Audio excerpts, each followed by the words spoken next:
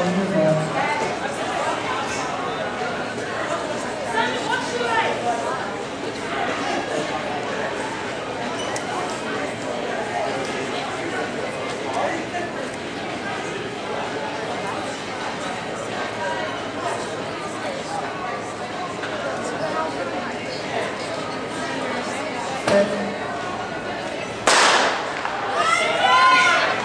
the first tee that call that 400 folks.